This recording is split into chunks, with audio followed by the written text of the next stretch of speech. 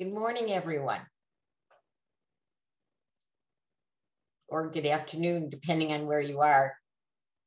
And welcome to our ninth webinar. I'm Muriel Finkel from Amyloidosis Support Groups.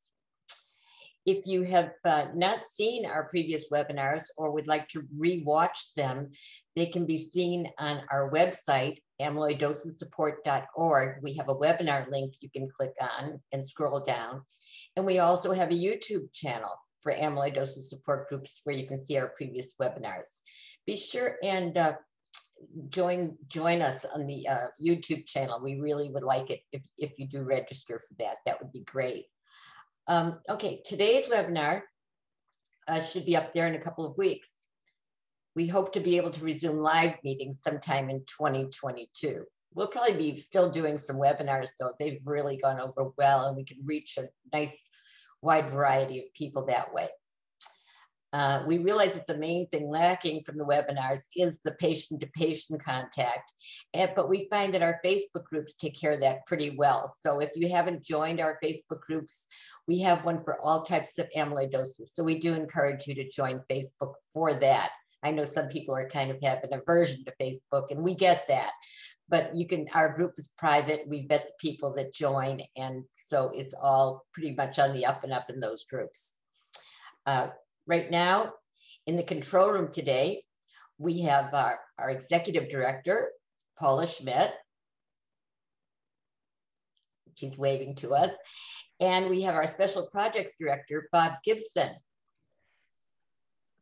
And Bob, Bob I, I, know that we don't want people writing anything in the chat today, but we do want them to uh, put put their questions in the Q&A box, but we want them to do that anonymously so they, you know, so they have the option of not people not knowing who they are. How do they do that?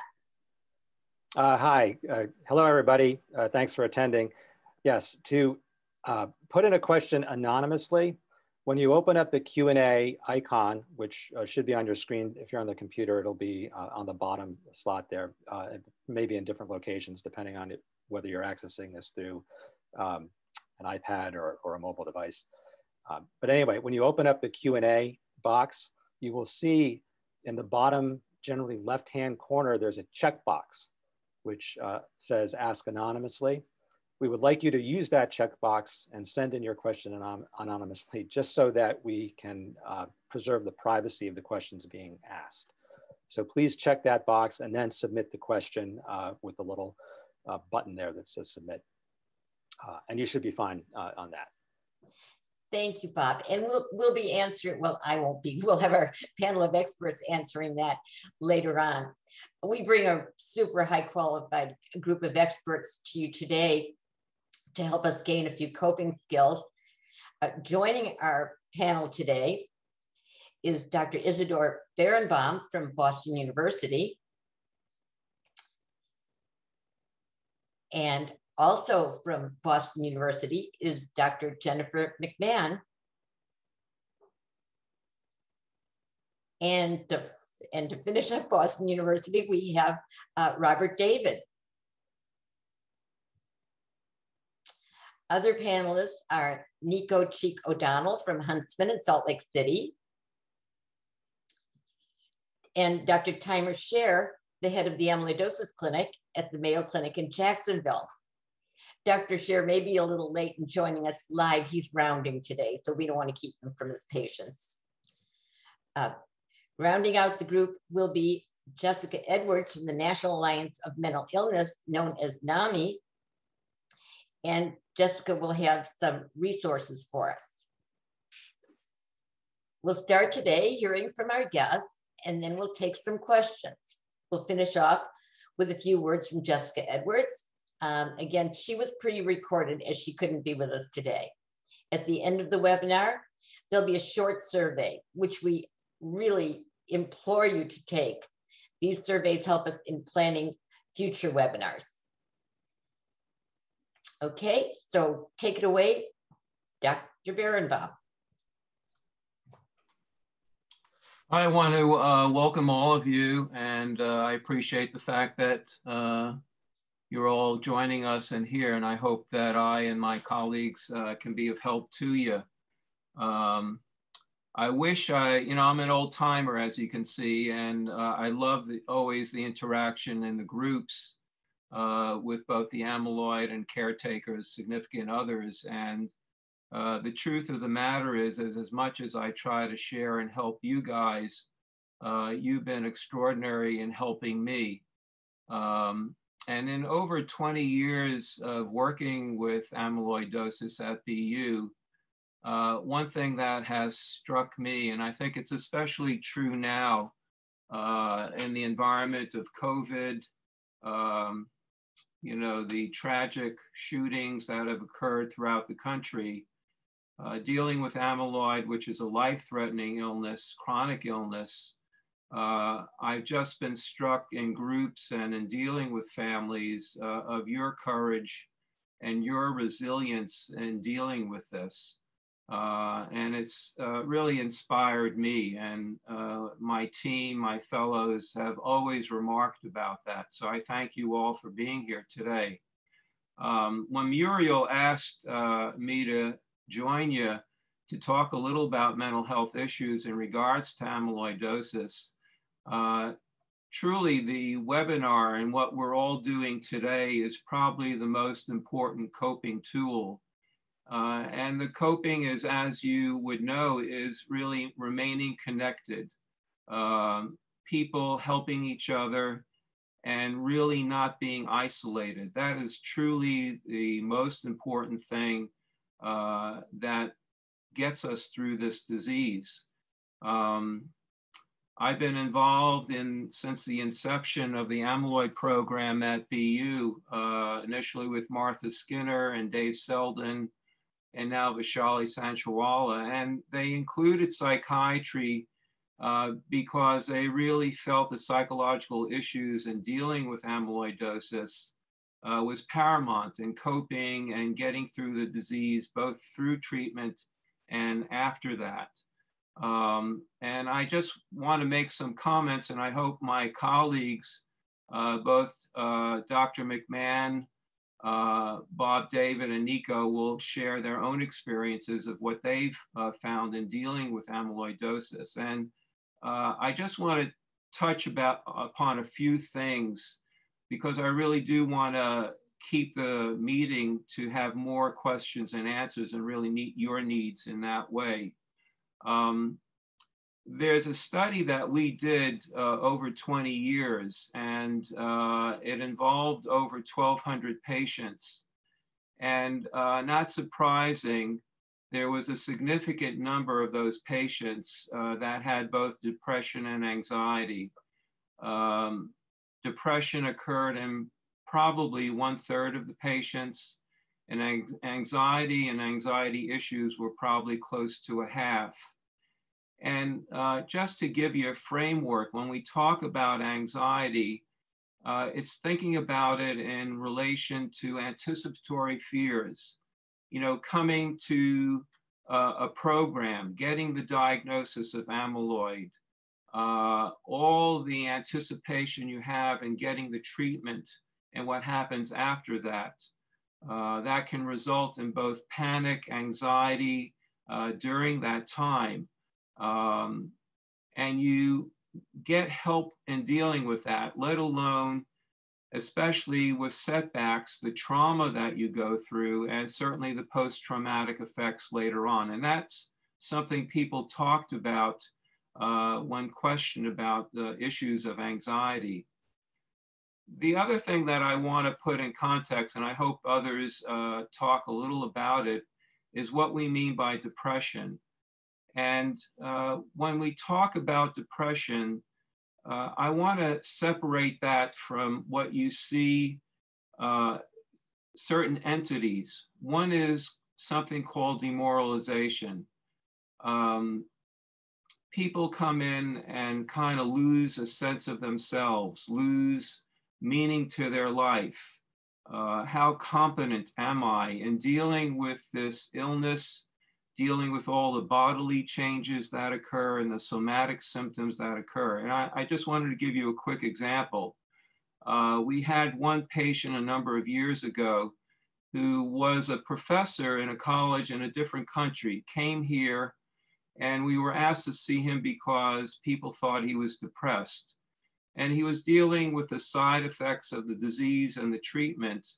And uh, what became apparent is he talked about how he felt so isolated, separated from his family, but also not sure of what the meaning to his life was. And our interaction was pretty brief. We helped him with his sleep and gave him some medication for that.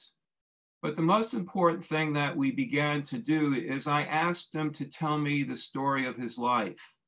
And he began to share what was meaningful in his life, his accomplishments, things that he was proud of.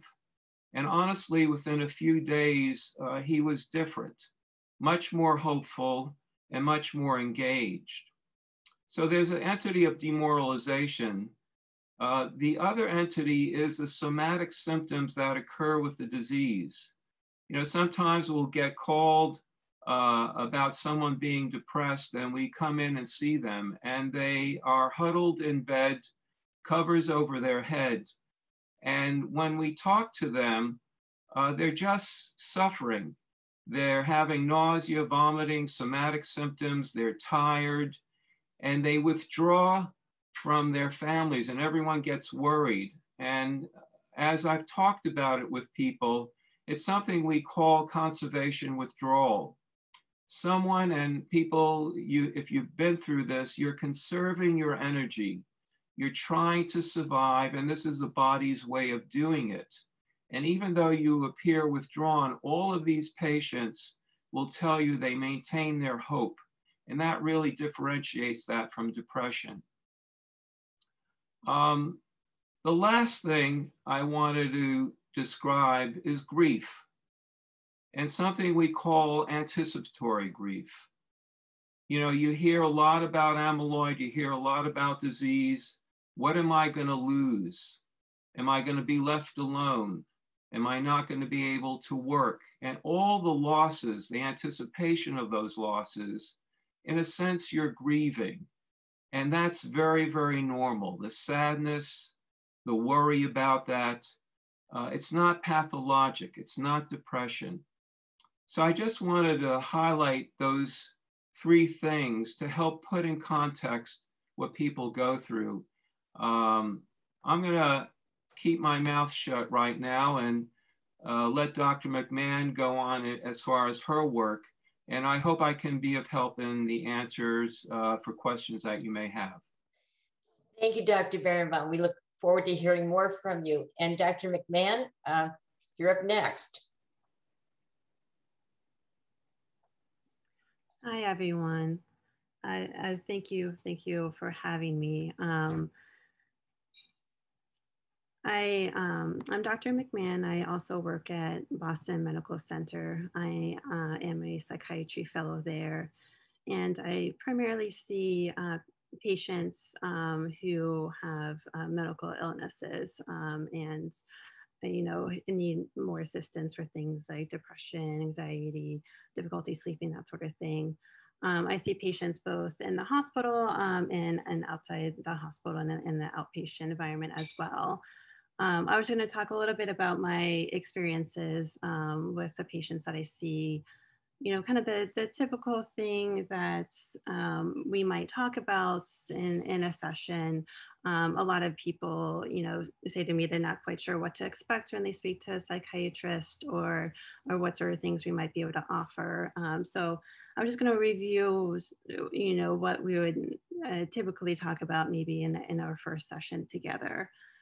Um, we of course would start off with whatever is um, bothering you the most. Sometimes people are saying and they feel depressed. Sometimes they feel anxious. It's or it's it's trouble sleeping.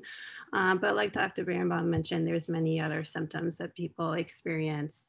Um, often it's things like uh, poor motivation, really just kind of not feeling like their normal self before they became ill, um, having difficulty concentrating, um, sort of having racing thoughts or, you know, eh, kind of ruminating about things. And this is affecting their sleep. Um, and there are many other symptoms that go with uh, depression, um, like feeling hopeless or helpless, um, you know, feeling very uh, withdrawn. Um, and so we might talk about all these different things that you are experiencing. Um, and this is very common uh, thing that I see in many different uh, patients. Uh, many people also talk about kind of their uh, uh, lack of control and now eh, being sick, um, as well as not having to adjust to maybe needing more help um, than they previously did. Um, many people you know, are used to being able to go to work, um, you know, or maybe uh, running their household and things have needed to change um, after their medical illness.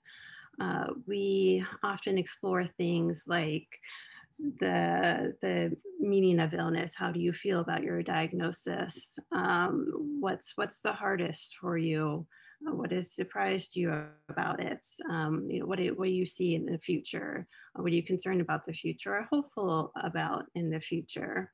Uh, we might explore different coping styles that people have, um, especially kind of reviewing things like what what challenges have had have you had in the past um, you know how have you you dealt with that? What worked well for you? Um, what what didn't work well? And, and starting to kind of incorporate that into uh, you know how how you can deal with your current situation. Uh, we often you talk about how you know where do you go for support? Um, you know what family members or friends or providers that that you are, are really in your network. Um, you know, you know, and how um, do you feel comfortable in confiding in them? Uh, many people talk about stressors in their life, you know, in addition to their, their illness. You know, they might be moving, they might no longer be working, they have uh, financial concerns as well. Um, that's a typical thing that we might talk about. Uh, some people have, you know, seen psychiatry in the past, and maybe in the past they've had uh, episodes where they felt depressed or they've struggled with anxiety throughout their life. Um, that's very common, but it's also common that this is the first time somebody is seeing a psychiatrist and, and this is new to them. Um, sometimes people have been on particular medication in the past for their mood or anxiety or sleep, and we might review what's been helpful for you in the past. Um, and, eh, you know, is this something to consider again? Um, we also will review things like your, your other medications. Sometimes other medications might be affecting, um, you know, your sleep or your mood. Um, we also review things like, um, you know, alcohol or substances, uh, which that can also impact, uh, negatively impact somebody's mood as well. And that's something we would we would discuss. Um, and lastly, of course, we discuss what what would be helpful. Sometimes people, you know, might meet with us initially and don't feel like they need to regularly follow up with us right now, but might come back in the future when things are a little bit more stressful. Some people are interested in talking about uh, medications, which is an option. Um, and some people are less interested in medication and might want to engage more in therapy. And often people choose both and, and find both options helpful for them.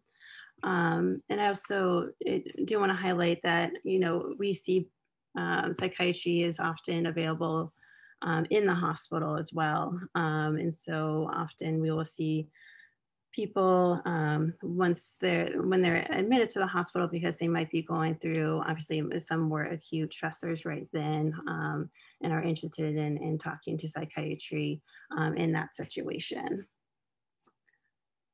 Um, and I guess just to summarize, you know, that's it's uh, an, an, important thing to kind of reach out to your doctors and ask what's available. Um, you know, if you're interested in in seeing psychiatry. Um, and have them either refer you to you know a psychiatrist in the outpatient or or in the inpatient um, hospital setting um, and uh, I'm looking forward to, to hearing all of your questions. Um, and again, I'm going to keep this short as well um, so we can kind of move on and hear what other people have to say, but also hoping to be able to focus more on your questions and, and talk to you about what interests you the most. So thank you. Thank you so much, Dr. McMahon. Um, and next we'll hear from Bob, Bob, David. Um, hi, thank you, Muriel. so my experience over the past mm, 25 years has been uh, running a lot of support groups of various types. And the last half of that time has been um, mostly with cancer and amyloidosis patients. And um, I, I learn a lot. It's such a privilege for me, really, to to sit in the room with people who have uh, going through these experiences. The amyloidosis groups um, at Boston Medical, up until COVID times, it really has taken a break since then, but it was a weekly meeting um, for people coming in. And every week it would be a different group, although sometimes the same people would come back six months or a year later. And there's a good chance that out of the uh, 200 people at this meeting right now, I, have probably met several of you, if not more. But um, through my through observations, basically, and listening to people, um, I find there are a lot of themes that come up um, in the caregiver patient relationship and dynamic that are very universal, really. And my feeling is that um, they these dynamics play a, uh, a, significant role in the uh, emotional well-being of both the patient and the caregiver during this difficult journey. Um, so I, I, would just like to touch uh, briefly on a few uh, kind of universal things that come up, uh, if I might, and they really involve the, the, the caregiver, but also to some extent the the patient. But one one one area is asking for help. Oh yeah, before I, I talk about that, I want to say that um, everybody it's a unique journey for everybody, and sometimes we fall into ruts and if you're in a rut, that's okay. That's kind of normal, but you can get out of it. And what I like to encourage, say, encouraging to people is um, whatever, whatever situation you have, it can be changed. It's really a matter of communication and maybe um, thinking of a new way to communicate around something. So, one area, as I said, is asking for help. And this is really for the caregiver. Um, it's good to take to receive help at the beginning, to accept some offers of help at the beginning because you may not get them after that when you need them more. But even later on, if you feel you really need help from a family member or a friend, you can ask for it. And I would suggest doing it this way um, thinking first how you will ask, and then um, asking it in such a way, calling up somebody saying, you know, I'm, I'm calling you to see if you might be able to help me. And put it out there in a way that there's no expectation, there's no demand, but you're just saying clearly in a detailed way what it is you could use help with. And it makes it easier for the listener to really listen and hear it and not worry about, oh, what am I going to be asked to do or can I do it or whatever. They just listen. And if they can't help you, it's easier for them to say, I can't help you now. And, and it's easier for you to accept it. But what might happen later is they're going to think about that and they're going to appreciate your request and they may check in with you later or they may find that they can help you a little bit later. So the likelihood of getting some help is, is greatly increased. Um, another area I want to touch on briefly uh, is uh, the area of boundaries. Um, as Dr. Berenbaum uh, pointed out, you know, patients go through all kinds of things. Physically, they don't feel well. Um, emotionally, they don't feel well. Uh, cognitively, they may not be functioning at their best. They may have these spiritual questions, you know, uh, what what what if I can never work again, or you know, what's you know, self worth questions, uh, which are normal during this time. Um, but the side effect of that is there. If you don't feel well, you you lash out sometimes. You know, you say things that with a lot of anger and frustration behind them, and the person that usually gets that is the person that it's easiest to lash out against the person you feel safest with, and that's your primary caregiver, often your spouse. Um, but it's not really a healthy thing or a good thing for either of you to go through that. So, a simple solution I find is to simply walk out of the room, say, and say, you know, I'm going to, if the, if the patient, you know, goes off on a diatribe or something, um, say, I'm going to leave the room now. And that gives them a moment to like think about what they're doing what they're saying and maybe reframe it a bit. And you can come back later. Um, and the message always being, you know, the message you give verbally or in your behavior is, I know you're having a hard time, and I know you need to vent sometimes, and I will always listen to you. But if you go overboard and start blaming me, I'm going to leave the room. Now, the benefits of handling it that way are if you don't, that first scenario where the patient flies off, and then of course they're going to apologize later, but they feel guilty they, because they know you don't deserve it. So they're going to feel guilty. And then, then they apologize to you. And then you accept and then you go on. But it's more likely to happen again because it's this pat this set of behavior has been kind of legitimized. So they may do it again and then you know whatever it goes on and on. And it's not a good thing because the patient feels bad enough as it is they don't need these feelings of guilt. So um, better to kind of check it at the beginning and have a safety valve where you can walk out of the room and then give the message i'll always listen to you because i do know what you're going you know i do understand you're really suffering and struggling um, but if it goes overboard then i'm going to walk out. Um, uh, one other area I'll touch on for now is this uh, aspect of independence. And this is universal also. Patients, you know, they go through treatment, it's kind of understood, everything is on hold. Everybody knows that. Um, but after treatment, or maybe as the treatment's gotten more routine and, and you've both learned to cope well with it, patient starts to get restless and wants to, uh, you know, spread his or her wings a little bit and go back to doing some normal things. And of course, as caregiver, you're very concerned that the patient doesn't overdo it. Um, so you're you're you're you're ultra cautious, and they're wanting to take some risk. Um, and it can be another frustrating dynamic. You know, she won't let me do such and such. She's nagging, or whatever, or he, whatever the case may be. And so I just want to um, encourage the caregiver to take to heart the patient's need for some independence. And, you know, I think we all understand that, that we all know our own limits better than anybody else. And when we've been down for a while, we need to kind of check things out. So your message might be to your wife who planted some azaleas last year and now there are wild onions coming up over the wintertime between the azaleas. This is, I just had this experience. And now she wants to go out and pull up those onions, those wild onions that have sprouted up.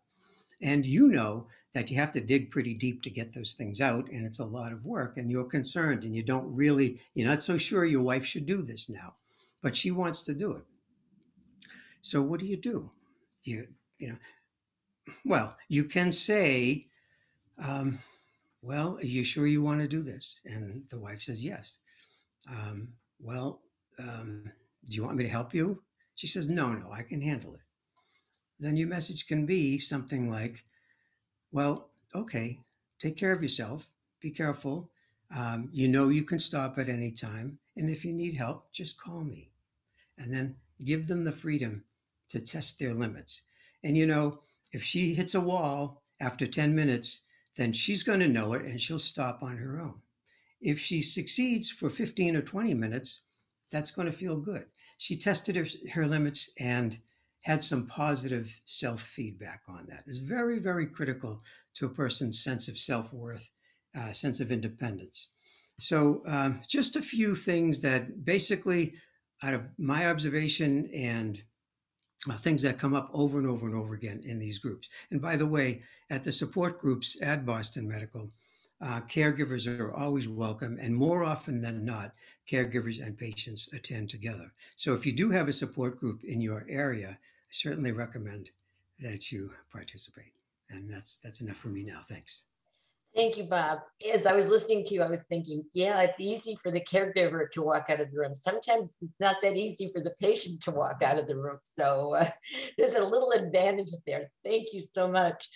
Okay, uh, next we're going to hear from Nico Cheek O'Donnell from Huntsman in uh, Salt Lake City. So Nico, take it away. Yeah, hi. Thanks. Thanks for having me. Um, so I'm a I'm a social worker. I work with uh, cancer patients and amyloidosis patients, and um, and sometimes my role is is kind of hard to define or um, one that isn't immediately clear to uh, the new patients that I meet. Um, uh, I I actually uh, kind of conceptualize my role a little bit as a um, like a tandem skydiver. Um, so I'm the I'm the guy who works for the skydiving company who um, would be strapped in with uh, the patient, um, and uh, as we're uh, being thrown out of the plane uh, and falling uh, towards the earth, I um, would stay connected to the patient through that. And um, it would be my my job to uh, pull the string uh, for the parachute if the patient needs um, help doing that. And of course, if that parachute doesn't work, doesn't work well enough, then there's an emergency parachute, and my job is to know about that, pull that. Um, and uh, um, and then after the whole thing's over, uh, that apparatus that we use, um, and maybe the the suits that we're wearing and all that, I take it back and I clean them. Um, and uh, it can get a little messy. Those, those suits, I imagine. I've never been skydiving actually, but um, and and that's kind of a a, a little bit of a uh, snapshot of how I see my role as a social worker. It's it's really just to be somebody who is connected to the patient at a time where um, that might be something that is really um, you know in, in great need um, and uh, you know as far as um, you know, specifically the social worker role, we tend to be in the hospital um, uh, at all at all times, especially during you know work hours. Um, we tend to be available on short notice, so you don't have to make an appointment with us. Um, uh, we tend not to bill uh, separately for our services, and and that means that um, you know it doesn't have to be just the patient who um, you know meets with us who we work with it can be the caregiver family member um, what have you we're not we don't have any need to justify the the work to some kind of insurance company or anything like that we um, will work with the family unit um, in whatever way is helpful. Um, and so I, I, think that it, uh, for those of you who haven't maybe um, you know worked with this social worker, it, it's something to um, I, I, it, it might be something to benefit you, and it might be something worth checking out. Uh, and I guess that's what I would say for now. Thank you so much, Nico. And Dr. Dr. Sher, are you are you rounding or are you with us for a few minutes here? I am here. If you can uh, hear and see me. We can, we can. You look, you look a little different than the last time I saw you. I do. You know, I've a, this is the COVID syndrome, right? so thank you, thank you so very much, Muriel. It's an honor and pleasure. Um, so I'm a hematologist at Mayo Clinic in Florida and uh, had an honor and privilege of um, running a multidisciplinary uh, amyloidosis clinic Uh, I see essentially, you know, we tell people that there are 35 different types of amyloid, but I think, you know, I have seen it, it uh, types which are beyond that. So, you know, technically and practically, theoretically, any protein can turn into amyloid. So my two cents into the theme today of uh, what we are um, listening, uh, a few minutes as to how I see when a patient comes to me and I see uh, um, the interaction with the patient and the family. And I try to tell that to that interaction is that, you know, we have to look at disease and illness. If there is a mindset that we will cure this, you know, both AL amyloid or different types, sometimes uh, we as patients and family members get lost into that word cure. So I do try to come up and say, you know, the response to the treatment and all those things are very important. But it's important that we don't get lost in that word cure and we look at the word illness. And illness, we can heal almost everybody. You know, we as physicians can talk to people, you can talk to us, you can talk to your loved one family members and feel relieved, feel relieved of the burden of the symptoms. So if the, that mindset is important. At least that's the way I approach things as a physician when I deal with patients or I see patients.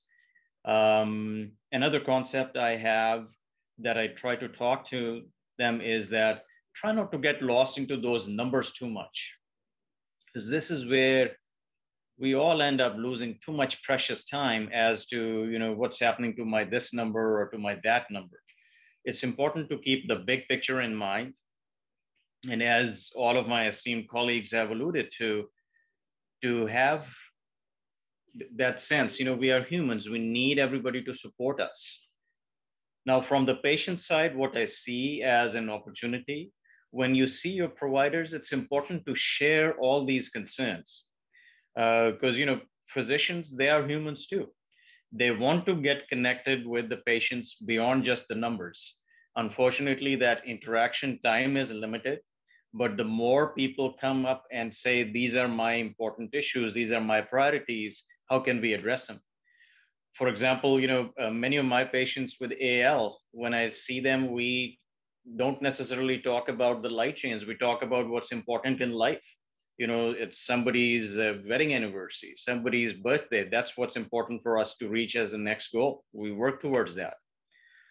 So having a broader horizon of thinking of life as a whole and amyloid as part of it, I think that's important. Medically in this field of in this arena of amyloidosis i can tell you that there has never been a better time to be with living with this disease. Uh, there are so many things happening in almost all major types. So about 99% of different types of amyloidosis remarkable progress is being made.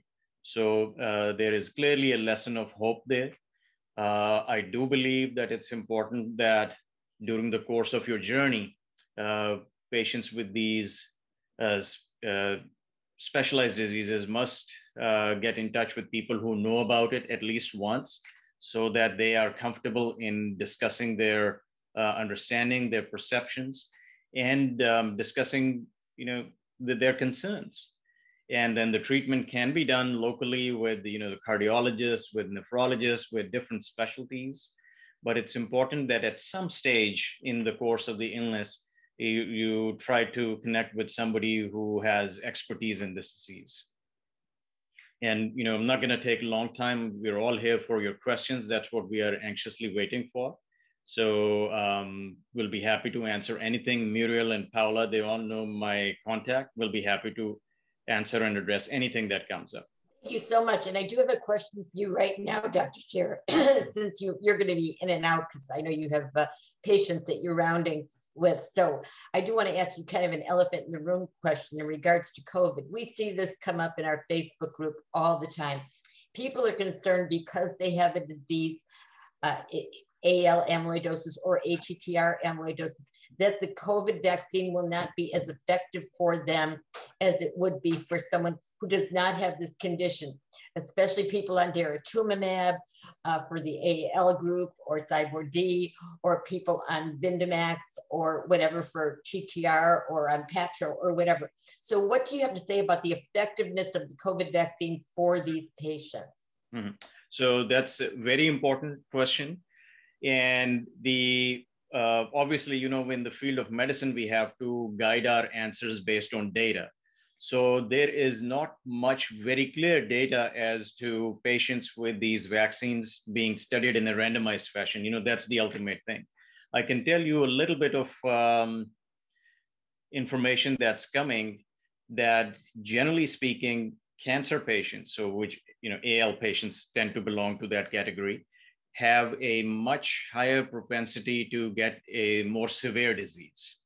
We know that in general patient population, people who have heart failure from any cause, people who have kidney disease from any cause, they are high risk patients to get the disease and suffer from its uh, more severe form and complications.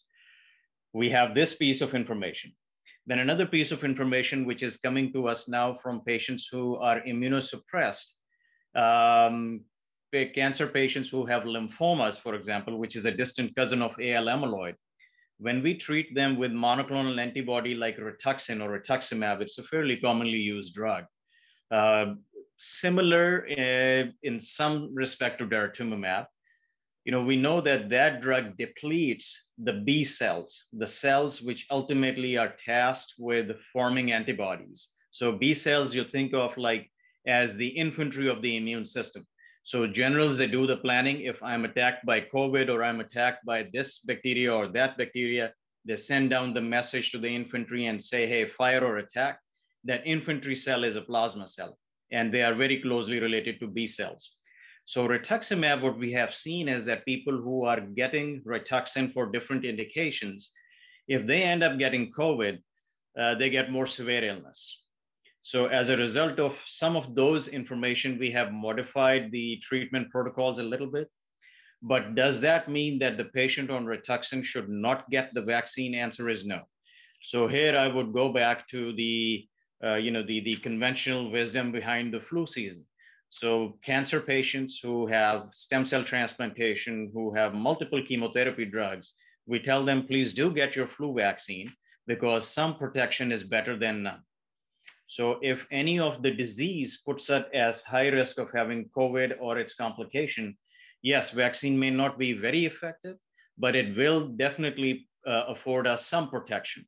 Now, what that level of protection is, that's debatable. We don't know that, not much data out of that. Uh, but the currently available RNA-based vaccines or other vaccines, protein-based, which are killed vaccine, not an active vaccine, live vaccine, uh, they should all be safe in terms of uh, like in general population. Uh, how I'm approaching it with my patients, I'm encouraging them that please get it because I think in the long run, it will decrease the chance that you will get the virus. And number two, it will decrease the chance that you will get a severe disease if you do get the virus. Thank you very much. That was really helpful. And I know a lot of people are, are grateful for that response. Okay, here's a question. I, I guess we'll start with Dr. Um, Berenbaum on this. This is a real big loaded question here, but, uh, and I don't know if there's any one answer, but you can try. Uh, how do I deal with loss of hope? Dr. Berenbaum? Yeah, uh, that's a tough one. I think the loss of hope uh, at times occurs throughout the disease for all of us uh, who experience the disease. And I, I, think the important thing is for people to differentiate between loss of hope or hopelessness and helplessness. Uh, am I feeling helpless that I can't do the things, uh, sort of as Bob described? Can someone pull out their plants? Can they do their job? Or have I lost hope where I just want to die and I want to give up? And those thoughts will go through your mind at times. Um, I think the key thing is anytime you're beginning to lose hope, as you heard from Dr. Sher, you need to find the people who can kind of get your head on straight again, um, to let you know about your disease, let you know and re reassure you that you're not alone in dealing with this. When I find people lose hope, it's more those who are feeling isolated and not connected or feeling very, very guilty about having the disease, being a burden to others, and feeling that they're hurting their family and others. Um, the other part of loss of hope is that it relates to where you are in your life. Uh, have there been other times when you've gone through that? And is there a snowball effect of what's occurring? Uh, but it's really making sure, I think the most important thing is not doing this alone and connecting. And if there's evidence more of a depression that's interfering with your treatment, it may even require a medication at that time.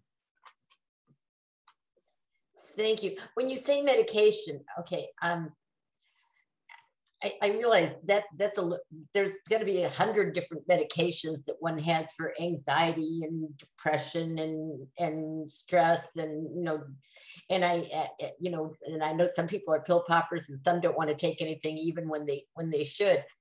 But when when we talk about medication um, prescription medication are there any is there anything over the counter that people can take? Do you do you, is there ever anything over the counter well you know we we talked about it before. Over the you know people self-medicate themselves. Alcohol marijuana uh, god bless you. You know people use a lot of different things. Uh, i would just be very careful very wary in talking to your physician uh, one thing that I always ask, and uh, Jennifer may uh, find this to be the case, is sleep is a very sensitive indicator of how you're doing. And the most important thing is making sure you get a good night's rest. And it, sleep will tell you what level of anxiety or mood change that occurred. Uh, so we will provide some medication, uh, mirtazapine, others that can be of help uh, but please, please be careful when using other substances. Okay, thank you. Um, and, and Paula, thank you. Paula put into the chat uh, rooms the links for the Facebook group for, and we appreciate that. So when you have a chance, you can go in there and see those links. Okay, um, let's see. Uh, well, this next one, I, I, kind of want to steer clear of, of questions that are strictly, you know, about medications that don't relate to um, emotional or mental health, but we will get back to those and we'll, we can certainly ask Dr. Sher about them. Uh, Nico, um, this might be a question for you. I've had to start Pomalyst on top of Dara recently. It alone costs more than my income. I did get a grant from the Leukemia and Lymphoma Society of $11,000, but that leaves a balance of $18,000 of life saving medicine. It's very depressing. I would think so, right? And makes me want to just give up. How do I cope? Thank you. Um, yeah. Uh, so, yeah, reach out to your social worker um, or other um, support staff in the hospital we're, we're working with. Um, and uh, they may be able to connect you, you know, even if the social worker can't answer the question directly, part of their role is to con- help you navigate the system and, and help connect you with um, somebody who who would have the answer and and um, you know they can be your uh, guide in in in trying to navigate uh, the hospital system. In, in this particular case, um, I actually happen to know that um, for Pomalyst, um, no matter, regardless of your income, you should, once you spend 3% of your gross income in a year on the medication, you should be eligible for free drug beyond that. That's something I picked up from um, one of our um, uh, our medication uh, people at our at my hospital, and that's been helpful to a few patients. Um, is that for AL amyloidosis or is that only for people that also have multiple myeloma as the diagnosis? Well, in this case, it's it's it's Celgene um, who makes pomalidomide. So they they will extend uh, free drug to patients who have already spent 3% of their income on their drug. Whether they have AL amyloidosis or also multiple myeloma. Uh, that's my under, that would be my guess, but, but no, I, I, I guess I can't be 100% confident of that. That would be something, but it would be something worth checking. Okay, great. Thank you. Okay, and then we have uh, here's a question. Uh, one of the greatest difficulties with this disease is coping with the high degree of uncertainty about the future. I'm a recent AL diagnosis and a recent retiree. Nothing about the future now feels like I had hoped for. Any ideas on how best to focus only in the present? I'm still in treatment, so I'm dealing with multiple symptoms and side effects as well. And um, uh, we'll start with Dr. McMahon. Why don't we why don't we go with you on this? Um, I would imagine many of our patients feel like they worked all their lives and and they're not they haven't because of this disease they're not living the life they thought they were going to and worked so hard to achieve. Yeah, yeah, we do um, very commonly see that, um, and it, it is very challenging.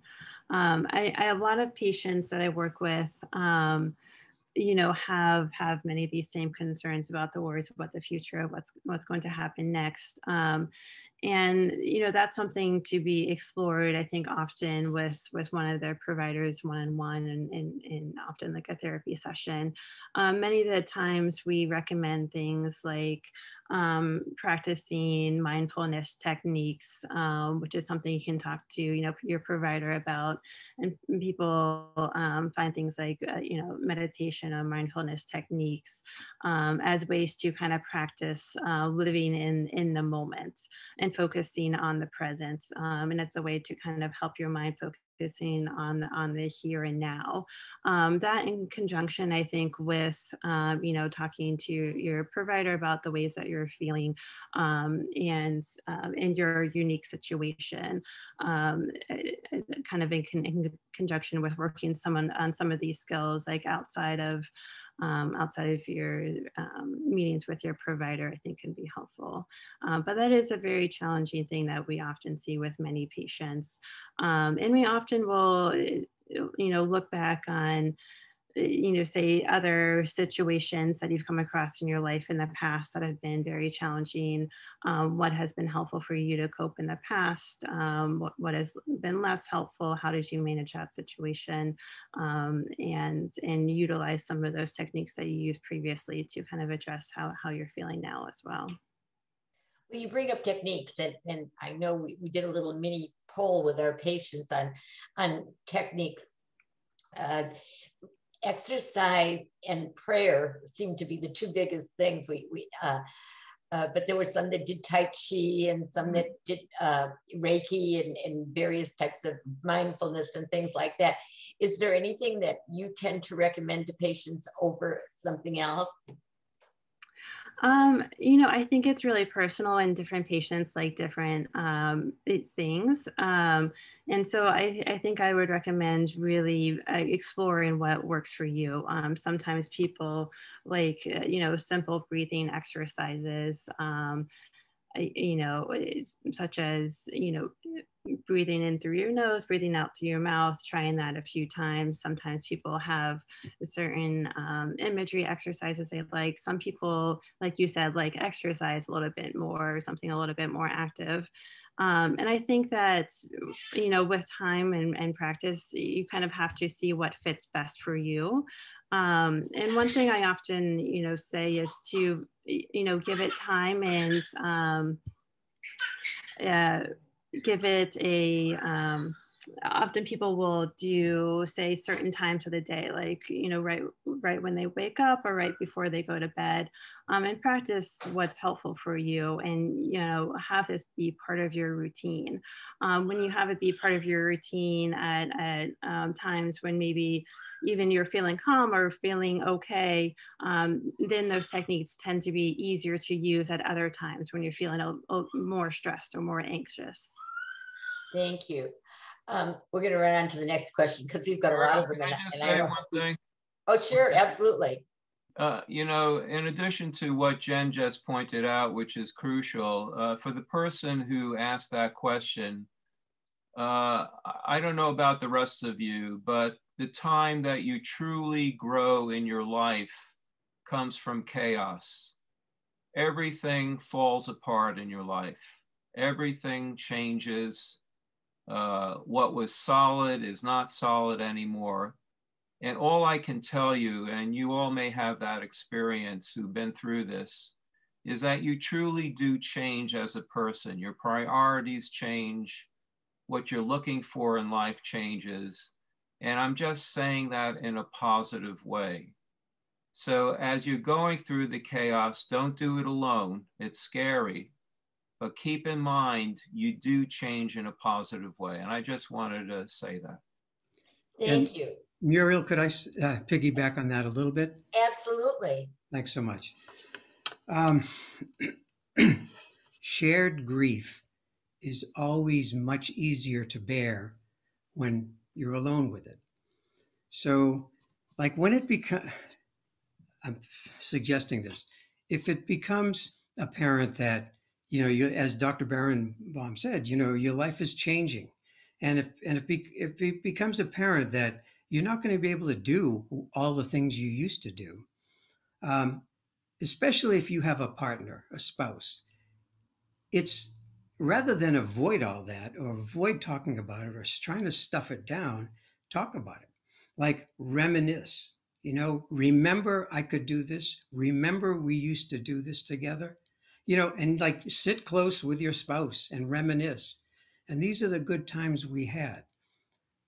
We're so great. Let's be grateful, or I'm grateful for these wonderful times we had, we shared, all the things you could do, things I could do, things we did together.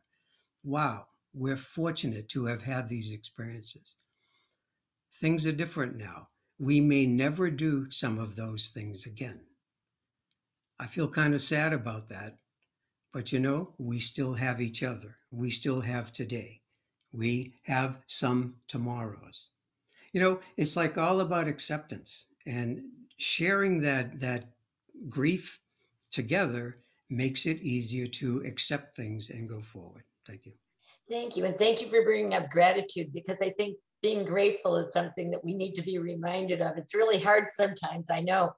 I know the Mayo Clinic does a whole session on that, and, and it's really interesting. Um, anyone else want to put in two cents here before we go on? Okay, um, this gentleman says, can you provide a reference for the study that found depression and anxiety? I'm, I didn't know there was such a study. Do- Dr. Berenbaum, can Yeah, we had one uh, that's public. I'll be glad to uh, get it to you, Muriel, and uh, hopefully you can pass it on. Oh, super. Thank you so much. That's wonderful.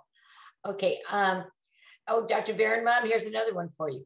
Please define the difference between anxiety and depression. Do they overlap or are they distinctly different? And you know, we didn't go through the, the definitions of all these things, so this is a good opportunity, I think. Yeah, I, I, I think more commonly than ever, uh, you know, there's a kind of funny name we have within psychiatry, MAD, uh, mixed anxiety, depression. Doesn't mean you're mad. But uh, the truth of the matter is, is that we see a lot of overlapping between the two. Uh, I think the key point about depression, as I was talking about the other entities before, is that's a point when we define depression is really where there is no hope. Uh, people want to give up and it begins to interfere with their role in life, their activities, let alone and I'm sure Dr. Sher at times has seen this, can interfere with their ability to be compliant with treatment or follow through with treatment. Uh, and it becomes a, a real danger and self-destructive. And uh, that's when you begin to think about depression in that way, let alone uh, symptoms that can overlap sometimes with the somatic symptoms of the disease itself, fatigue, uh, loss of interest in things, less ability to be active in some ways too. Um, and anxiety, you know, is a useful signal that we all have. It kind of alerts us to the environment.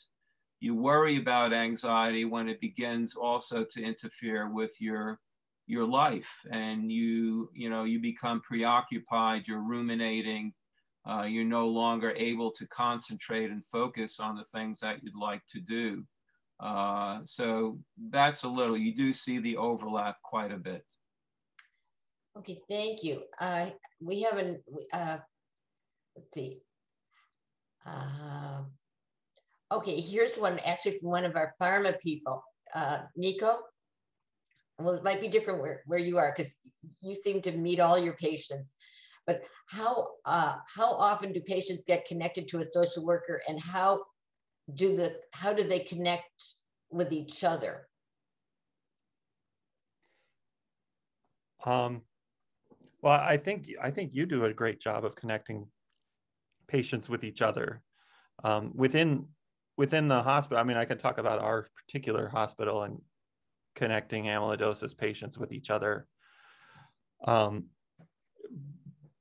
but uh, it'll be different at, within uh, other different hospitals. Um, I think outside of the hospital, something that's available to everybody is you know the your services and and your Facebook group and um, uh, I, I, just got a call um, yesterday from a patient who was diagnosed a year ago and and looking for some some way to connect to people and and uh, I let them know about your Facebook group and you and and this organization.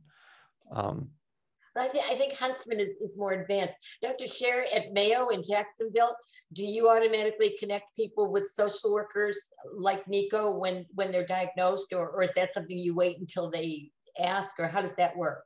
Right. So we, uh, as part of our the practice currently, um, Muriel is two ways. So complex patients, especially newly diagnosed, who need multiple specialty care, so we have them seen in our multi-specialty amyloid clinic where they're seen by me, cardiologists, nephrologists at the same time, with neurologists available very soon if something needs to be done. And um, our nurse navigator does a very good job in discussing different needs of the patients and we connect them with the social workers. So it's a case by case basis. Not everybody needs all the resources or all the help. So we try to um, address needs of the patients depending upon the individual needs. Okay. Anyone want to add to that? and, and Paula's put some more information in the chat for people uh, for financial aid. Thank you, Paula. We appreciate it. My AL group gives medical support only. Some members want emotional support. I'm uh, I don't understand the, the letters LMHC in W in Washington, I guess. I'm an LMHC and would like to start a support group, but not as a clinician as I need emotional support after dealing with AL and dialysis for about 10 years. Or well, I can give them help on starting a support group later. So I will I will be in touch with that person. Uh, okay, uh, Dr. Sher, is amyloidosis truly terminal? Well, this is a, it's again a, I think it's a question of mindset. Uh, the the word terminal if we believe that this is what uh, then means i don't do anything about it no absolutely not. Uh, you know we all live with uh, diseases like hypertension. We all live with disease like diabetes. You know very common one in two americans have those common chronic conditions. Uh, they have their own journey. You know they can lead to certain complications and they can have different outcomes uh, but my one liner for amyloid is no, amyloid should not be considered terminal. Uh, I've had patients with AL amyloid, you know, which we all know is the most aggressive type, uh, living 30, 40 years in remission. Or those who have their disease come back, we treat them, they do okay. Now, not everybody is in the same page, but vast majority, I would say the 99% of amyloid patients, including those with advanced AL, get help by the treatment. And sometimes those uh, benefits are uh, very significant. So I would not consider or approach this condition as something terminal and I give up. No, I would say that, you know, this is part of our life and we will deal with it. We have good tools and, you know, this um, meetings like these, they, they uh, uh, provide remarkable opportunity for us to deal with the emotional side or the suffering side of uh, this disease as well. So I think, no, uh, I wouldn't consider it terminal in that sense. Thank you. Can, can I ask all of our panelists to, you know, put their, you know, their videos on? I think our, our, our patients all want to see how wonderful you look, for lack of a better word. Okay. Um, here's a question. I feel like this disease is killing all parts of my body. I feel like I need help. Now, I would imagine their help would not be necessarily medical. They're, they're, they're, I don't really know, understand the question a whole lot, but all right, we'll start with you. Um, Dr. Sher, do, do people just come to you and say, this disease is killing all parts of my body, help me? And they don't really necessarily mean, you know, medical help, they just need help. Right. Say to them. I, I think this this brings out an important question that there is a concept of pain um, and there is a concept of suffering. So we need to clarify when we see patients that what what what is the issue. If there is a physical pain component, we can deal with almost all anything. You know, the uh, support group, uh, the supportive care, um, and they don't like to be called that way. The palliative care group, uh, you know, they have a lot of uh, tools to help offer and deal with a lot of those symptoms. The emotional and the suffering part of that, you know, again, uh, we all talked about many of these tools. We can do a lot to help people deal with that aspect too.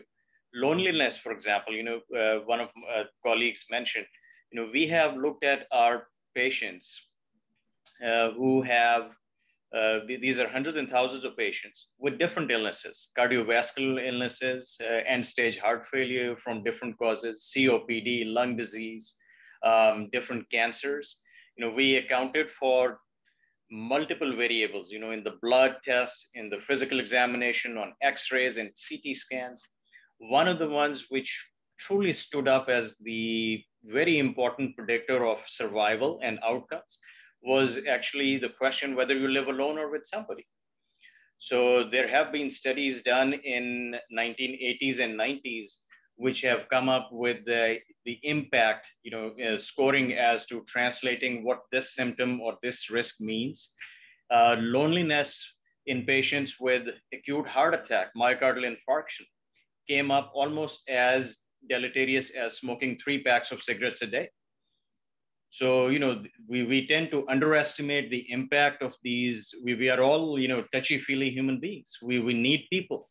So having support and having being able to connect and share and learn, I think that does a lot to um, minimize the burden of the disease and its treatment. Thank you. Uh, does anyone want to add to that? I just want to add that Dr. Sher, uh, we're ready to have you join psychiatry anytime. I love what you say. Uh, I, I think the integration, you know, it's not one or the other. It's one person, you put it together. There, there's a classic paper that I give out to people called The Nature of Suffering, written years ago by Eric Cassell in New York. And he looked at suffering and what it meant, and it really affects the integrity of the person, who the person is. And obviously, disease affects that sense of who we are. And again, not doing it alone, being with others, uh, sharing your suffering, not suffering alone, as Dr. Sher said. That's the crucial thing. If there's any message I want to have people keep in mind, is to think of that. You know, it's interesting that you say that. Thank you. We, after our face-to-face meetings, we pass out evaluation sheets for, and we always bring in guest doctors to our face-to-face meetings. And Dr. Sher has been kind enough to guest at many of our Florida meetings and Dallas meetings. And I think he was at a New York meeting once, so he, he he's traveled for us.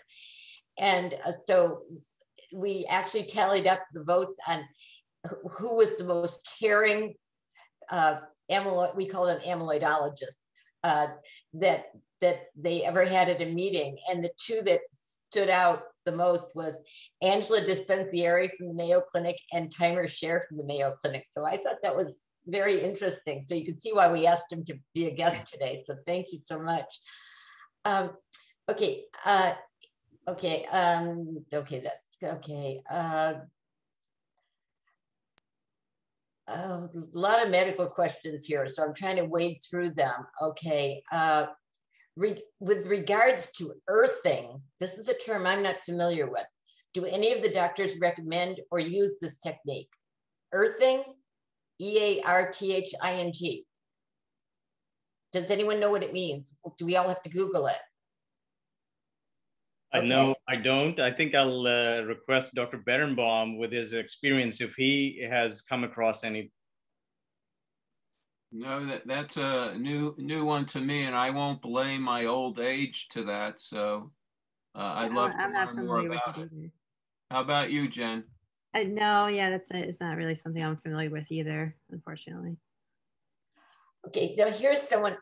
I'm a 70 year old hereditary uh, TTR survivor. I had a heart and liver transplant in 2008, a very successful outcome. I believe I've handled my uh, citation well, except for the neuropathy that developed seven years post transplant. I'm now starting to wane towards giving up as I have lost a lot of mobility. I feel like a couch potato these days and a burden to my spouse, who is my caregiver. I've lost my motivation due to bodily fatigue. I would imagine, uh, Dr. McMahon, we, we see that rather often where people have lost their motivation due to fatigue. Do you have any recommendations there? Yeah, I mean, I think that gets to a lot of what we were talking about previously. Of you know, a, a lot of this is um, often linked with your, your medical illness and, and um, how you're, you're physically feeling. Um, but then these symptoms can also, um, you know, be worsened if you're also, you know, having a lot of uh, kind of emotional distress with um, depression as well. And so sometimes um, you know, it's difficult to see what's impacting which um, and addressing both, like we were talking about, and exploring a little bit more. And you know, how much is is your mood a, a part of this? Um, can be um, something to explore a little bit more with your provider and tease out. Um, I think uh, also the comment about you know the the feeling of being a burden on the caregiver is something really um, that comes up a lot. and I'm, I'm wondering if maybe Bob David want to speak a little bit more about the caregiver things. I think that helps. That that that might be very helpful, and I think that comes up for many patients too, and and the worries about feeling like a burden. Thank you. Anyone else? Okay, you know, here, here the next question uh, is this, the subject is eating, and and this is a personal one for me. When I was a caregiver back in the dark ages of the 1990s and early 2000s, my patient was on a diet due to dialysis, and I had to really watch tomatoes and all, all his favorite foods, you know, sodium, etc. And I lost my patient, which people did often back then in the dark ages. And to this day, I have guilt about not allowing my patient to eat certain foods uh, I, I feel like I really ruined his quality of life. And, and, and sometimes I actually have crying jags about the food thing. So let me read you this next, you can help me in a separate session, but let me, um, let me read this question. I have a family member who has this disease and one of the ways they cope is by eating. They tend to eat junk foods, salty foods, and snacks. What is a way I can help them to stay away from those unhealthy choices of foods or is there a low sodium diet they can follow? I, I, we won't discuss diet here because we can give this person lots of diet suggestions. But do we, since I faced that too with him wanting to eat certain foods that were not necessarily right for him, what's the best way to handle this? And let's run through all of you because I'm sure you've all had to face this. Uh, Dr. McMahon?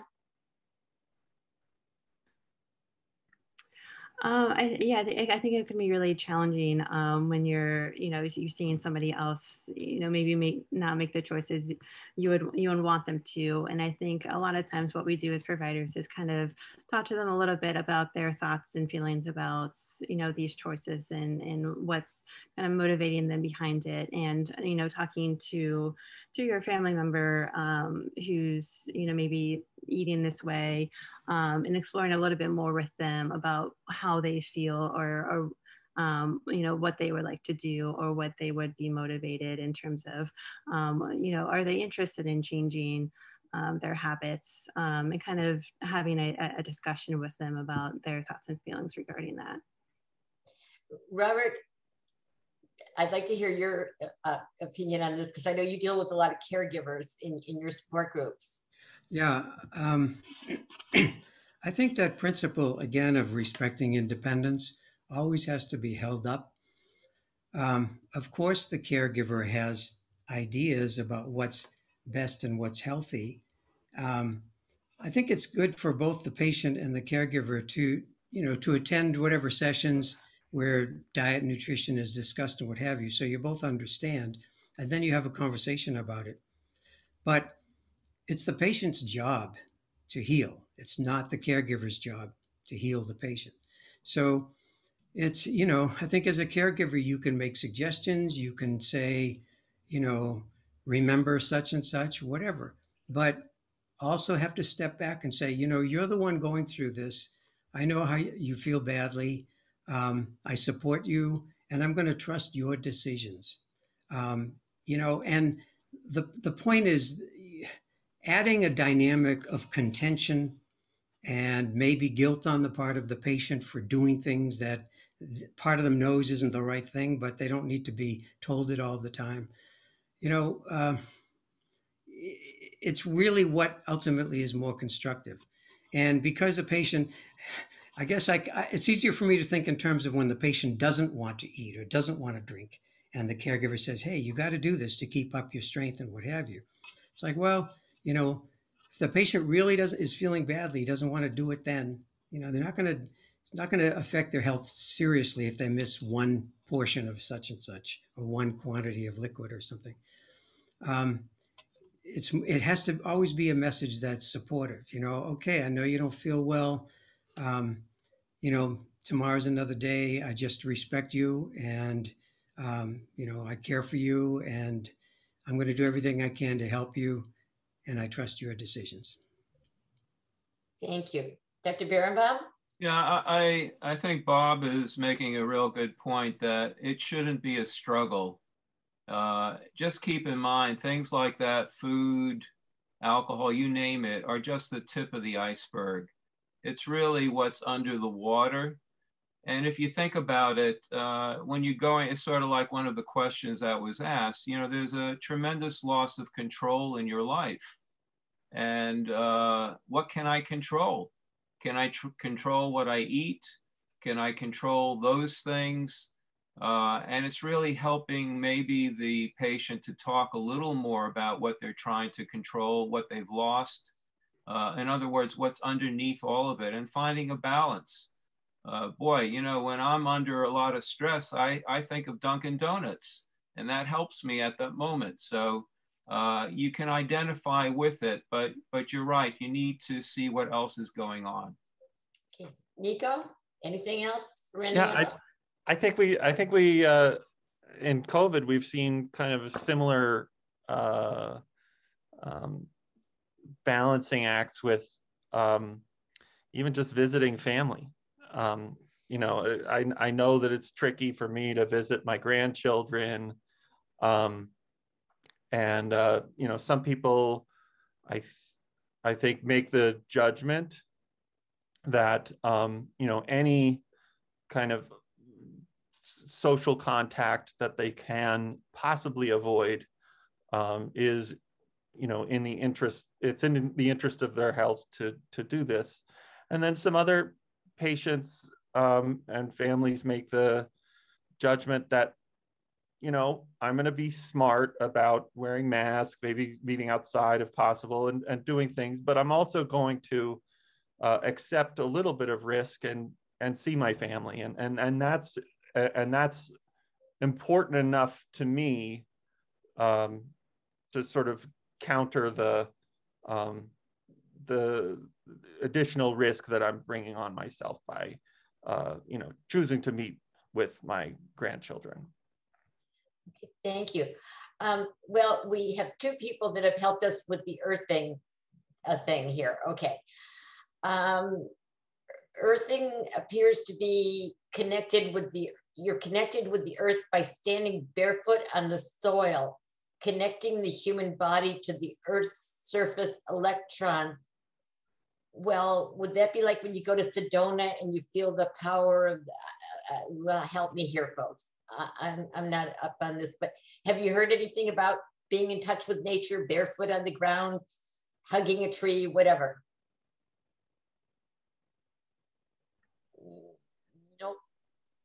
I'm not familiar with that, although I, I feel like if somebody finds something like that helpful to them and in terms of connecting to nature, that and if somebody personally finds that way to you know cope and, and it may be helpful. Um, I'm just not I'm not personally too familiar with that technique. Okay, well maybe we'll see an article written on it soon. Okay, and then and then we'll never know, right? Uh, we have a lot more questions, eh, but I know we have to finish at 12.30. So what we'll do is we'll save Jennifer's uh, from NAMI, her presentation until 12.30, okay? So we'll have that because we need to hear about the resources that are available um, for our people. So everyone stay tuned at 12.30, we'll show that because we want to continue answering the questions right now.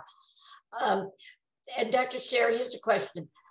And, and this person was specific. They were concerned about side effects of one particular drug for nerve pain, but it goes to a bigger question, I think, which is fear of side effects of a drug, just like people are afraid of the side effects of the COVID vaccine, fear of side effects of the drug. Do you see that uh, impairing people getting treatment because they, and, and how do you, uh, how do you handle that when people are afraid about side effects to certain treatments and certain drugs?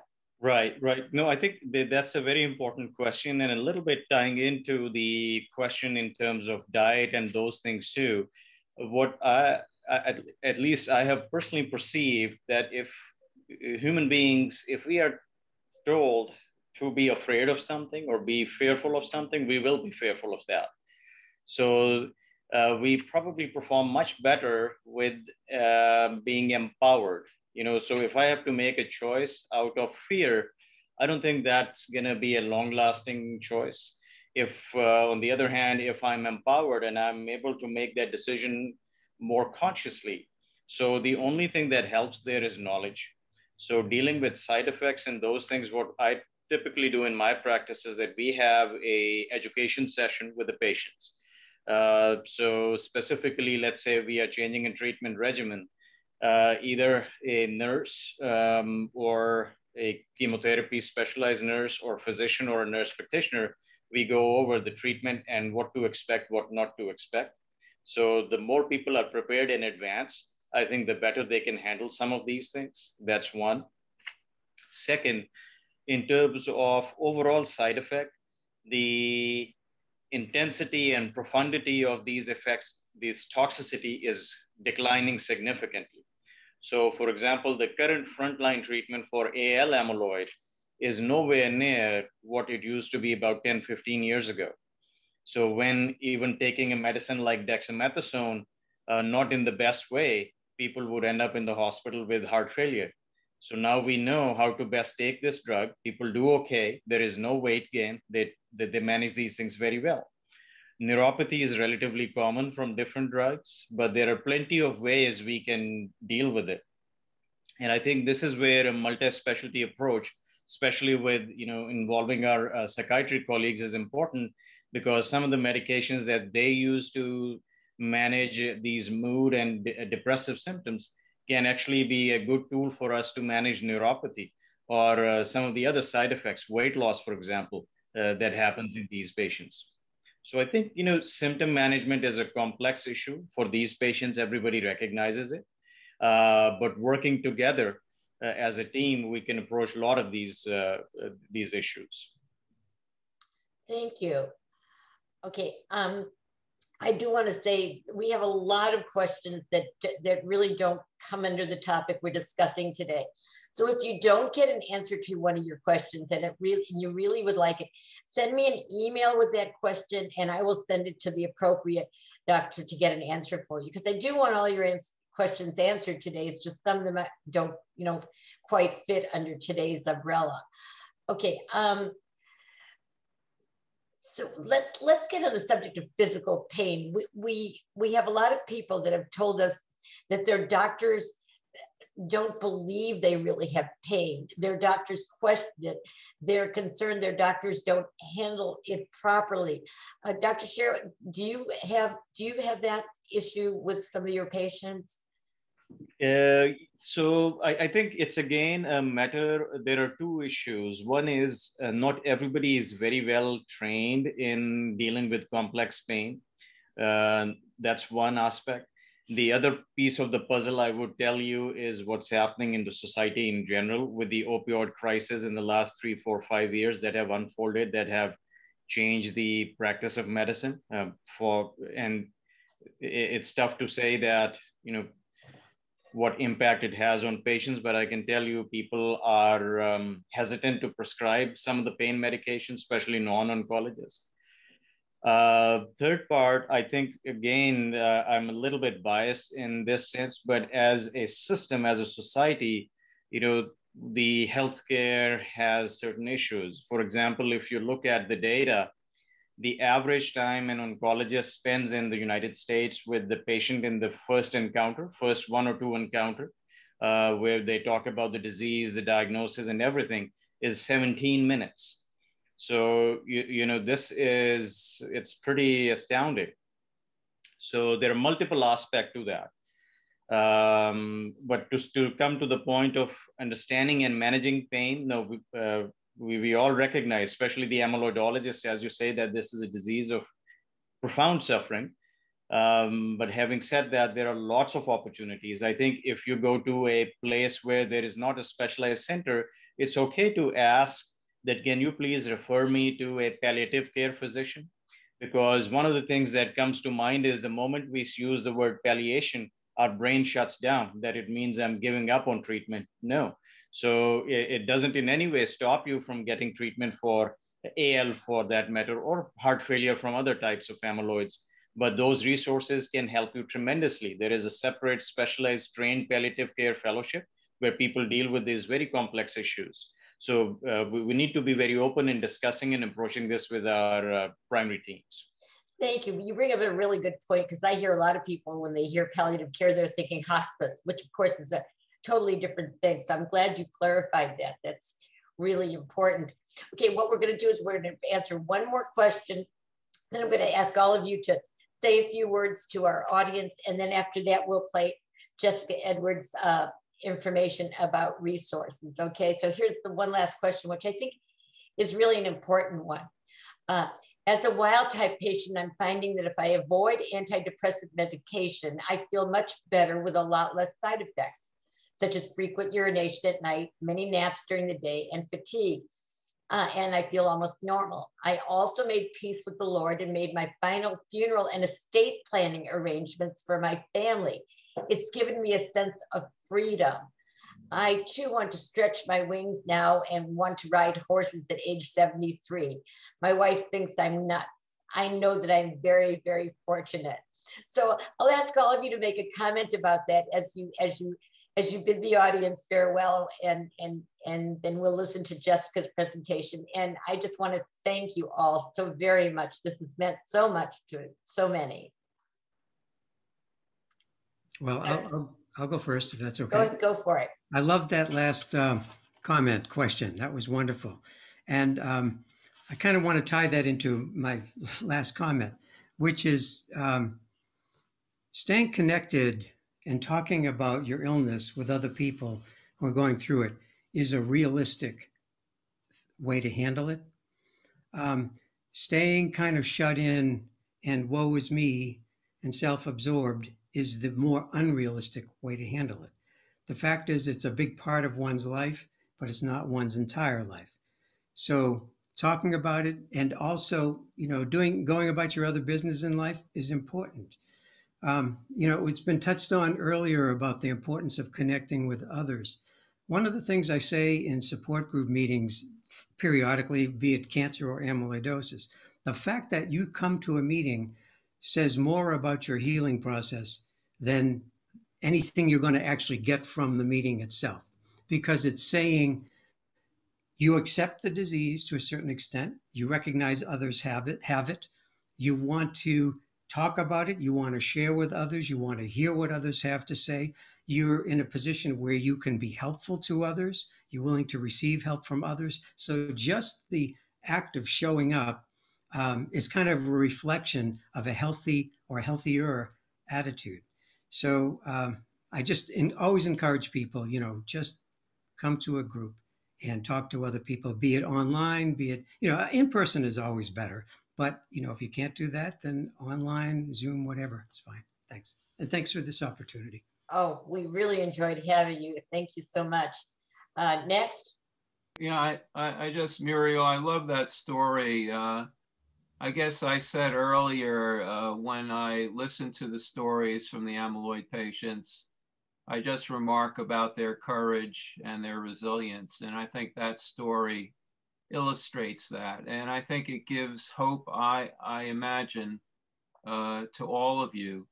Uh, as, as Bob said, uh, maintaining that connection, seeing that there are opportunities in life, uh, and making sure you ask for help. Don't feel guilty uh, about this disease and uh, guilty about how it's impacting other people people want to be there and help you. And uh, I just wish this guy has a wonderful ride on that horse and, and enjoys it. Thank you. Thank you. And anyone else next? Nico? Uh, yeah. Uh, I, I, I, I thought it was interesting. He, he, talked about the freedom he got from making funeral arrangements. Um, that's not something that I would expect most people to um, voice, but um, it does illustrate kind of an, uh, you know, the usefulness of an approach that is common, uh, I think, among all mental health professionals, um, and, and that and that's sort of identifying what is, um, what the what the what's helpful to the patient. What, I mean, to to have the patient sort of identify, the patient is the best expert on what's helpful to them, and um, we as social workers can be of service, um, not necessarily by talking at them about what's helpful, but by talking with them and, and of identifying from themselves, um, having that come out. Um, and uh, the fact that he identified that and um, and that did prove helpful, I think it was really um, uh, interest instructive. I, th- I think it was something maybe that he has control over. You know, we but sometimes as patients, they we don't feel that we necessarily have control over things, and, and also it's kind of a tying up loose ends situation. So you can you can you know you can kind of relax and go on to the next thing. It, it, it is interesting. Thank you for joining us, Nico. I, I, know all of our patients wish all of you were at their local center. Uh, Dr. Mc, Man, we'll take you next. Yeah, I, I really um, appreciate that that last comment as well, um, and I, I, you know, appreciate the highlighting of the medication too. And like Nico said, it's a very personal decision. Um, you know, I, sometimes people find medication very helpful for them, and and some people um, you know, decide it's not for them. And at, at the end of, end of, the day, like we were discussing, it's a, it's a very personal decision. Um, and I also would just want to echo um, Dr. Berenbaum and saying, you know, don't be afraid to, to reach out for help and have, the, have these sorts of discussions with, with your provider. Um, otherwise, thank you for having me and thank you for, for the great questions. Oh, thank you for joining us. Again, we'd like to clone all of you and send you to every one of our centers, but you know, they may have people like you there. We don't know. And hopefully they'll come out of the woodwork now and we'll hear about that. And won't that be wonderful? Okay. Have we heard from everyone now? Okay, um, if you can stay with us, that would be great to hear this. This, and if not, we, you know, this this will be up on our website and our on our YouTube page uh, in in a couple of weeks, and and we'll be able to, but we will be able to share the NAMI uh, resources that Jessica Edwards will be giving us, so that you'll have them for your patients and as well. And we thank you all for joining us. So, and remember, anyone that's going to leave, we do have a survey that we definitely want you to fill out. So right now, let's let's hear from Jessica Edwards. Okay. Hello, my name is Jessica Edwards, and I work for NAMI, the National Alliance on Mental Illness. Thank you so much for having me today, and I wish I could be with you live in person. I wanted to take a few minutes to talk about NAMI and our resources and how chronic uh, physical diagnosis intersect our mental health. Um, I work for NAMI National. We also have 48 state organizations and 600 local affiliates across the country. So if you're interested in learning more about NAMI, I would encourage you to go to our website, www.nami.org, um, and find a local organization in your community. Uh, mental health affects everyone, one in five Americans experience a mental health condition each year. Mental health conditions can often be exacerbated by a difficult chronic diagnosis. Um, grief and shock, anger and frustration, disappointment, invalidation, jealousy, fear, sadness, all of these feelings can often accompany that diagnosis and can contribute negatively to your mental health. It's sometimes difficult to know if you're having a rough day or a rough couple of days versus there's something more serious going on with your mental health. And we typically help identify that if the symptoms are um, persistent and chronic. So a rough couple of days, maybe nothing to worry about, but if you're having a struggle for more than two weeks, you should probably seek um, some mental health professional care and see if you can't get and address um, what's going on. Some other warning could be feeling very sad or withdrawn for more than two weeks. Um, excessive use of drugs and alcohol can be a sign. Drastic changes in your mood, behavior, personality, sleeping and eating habits, um, difficulty concentrating, intense worries or fears, and severe out of control um, anxiety. If you have trouble catching your breath, that can also be a sign that something more serious is going on. Um, NAMI is here to help on any part of your mental health journey. Our website is a wealth of resources. I'm going to share some resources with the folks running this call that they can provide to you as well. And also our helpline. Our helpline is open from Monday through Friday from 10 to 8 Eastern. And that number is 1 800 950 NAMI, which is 6264. Um, the helpline can help give you ideas about where to look if you're not sure how to find a provider, if you're um, wanting to get some peer support and understand what other people may be going through.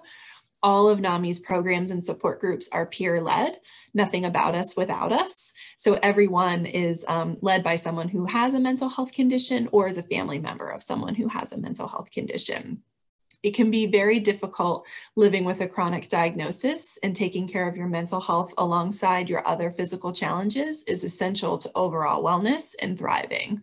The same is true for caregivers. You have to make sure, um, what is the saying? You can't pour from an empty cup.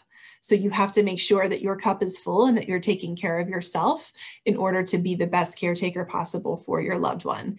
And addressing your mental health and your stress and your anxiety um, and depression through very challenging times to navigate is a critical part to make sure that everyone in your family and in your life stays well so that you can um, so that you can be the best possible version of yourself. And, and taking care of our mental health is something we don't always talk about because it can be difficult and it can be stigmatizing and it can feel like one more thing.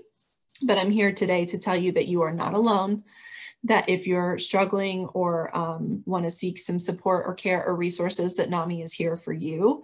And I would really encourage you to take advantage of that. Um, again, my name is Jessica and I welcome any uh, questions or, or inquiries to my email at jedwards at nami.org. And then, um, like I said, there's some resources on our website and, and after this presentation if you need anything at all. So thank you for having me today. I wish I could be with you live and I hope you enjoy the rest of your session. Take care. Thank you, everyone. We uh, we will be sending out an email with with information um, that has been covered. You know, where we promised you information. You can send me an email or info at amyloidosissupport.org if you have any questions that you know you would like to see answered. Again, this will be up on our YouTube channel. It'll be up on our website in about two weeks. We'll announce all of our future webinars the usual way on our website, on our Facebook groups. They one amyloidosis voice. And um, and I don't I think Bob's going to start arranging it so that the YouTube channel um, starts putting out announcements as well. If there's some way to do that, I guess. So we thank you all so much. It, this meant so much. This was a little different for us. This is not our usual thing. And I can't wait to see the results of the survey after the meeting to see if you want more uh, meetings like this. So take care, everyone, and have a great day and a great weekend. Bye-bye.